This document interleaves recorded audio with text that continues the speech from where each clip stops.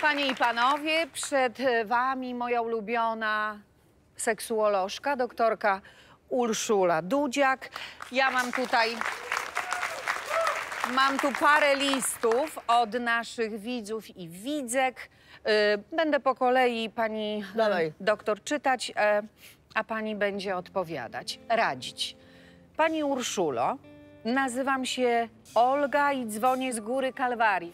Nie wiem, co mam robić, bo zadzwoniłam do mojego chłopaka w weekend, a on do mnie nie oddzwonił. Więc zadzwoniłam drugi raz i napisałam SMS, ale on nadal nie odzwania. Mam zadzwonić, czy lepiej wysłać SMS? No jak tyle razy nie ma odpowiedzi, to ja bym na twoim miejscu, droga Olgo, zadzwoniła do innego chłopaka. Cześć, jestem Danusia, mam 55 lat i podoba mi się kolega z pracy. Jak zwrócić jego uwagę, nie świecąc cyckami? Wow. Może powinna zacząć pisać wiersze. Danusia. E, Danusia, a, a, a, a ja muszę ze swojego doświadczenia. Jak miałam 14 lat, zakochałam się w starszym koledze. Słuchajcie, napisałam taki wiersz.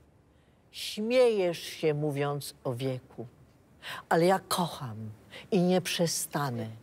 Jak mnie nie zechcesz, zakonnicą zostanę. Będę chodziła w czarnym habicie i niczym mi będzie te piękne życie. Podziałało. Podziałało. Czyli, czyli Danusia po prostu, no inna atuty powinna. Intelekt. Intelekt, tak. Twórczość. Tak, tak, tak. Danusiu, doktor Dudziak radzi idź e, w twórczość jakąś. Na pewno kolega to doceni. Hej, tu Marta. Mój mąż śpi w skarpetach. Prosiłam go wiele razy, żeby zdjął, ale jemu tak jest ciepło i wygodnie. Czy jest jakiś sposób na to, żeby go przekonać, czy muszę się z tym pogodzić? Z- To jest mąż, tak? Zdejmij mu gadki. To może to pomoże.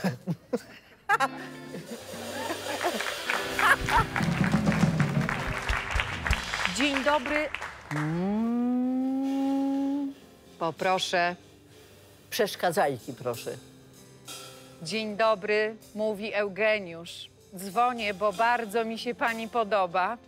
Co trzeba zrobić, żeby poderwać taką kobietę jak pani?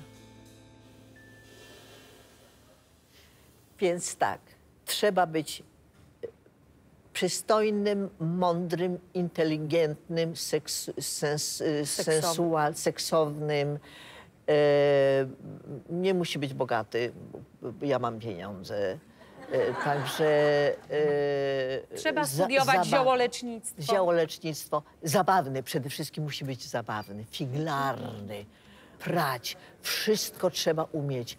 I wtedy jest mała szansa, że oddzwonię.